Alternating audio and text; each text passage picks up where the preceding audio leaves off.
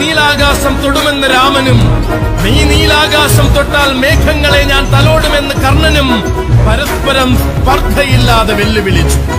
അതെ ഇവർ ഇതിഹാസ നായകന്മാർ.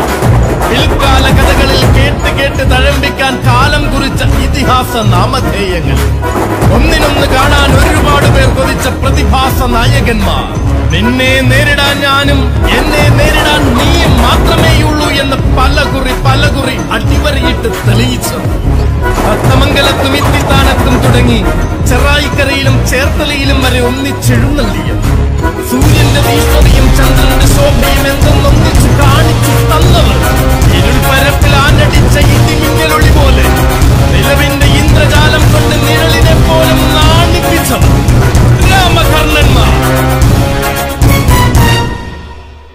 മനുഷ്യരെ പോലെ ആനകൾക്കിടയിലും ഉണ്ടായേക്കാവുന്ന കുടിപ്പകയുടെയും മതമാത്സര്യാദികളുടെയും പ്രകടമായ ഉദാഹരണമാവാം.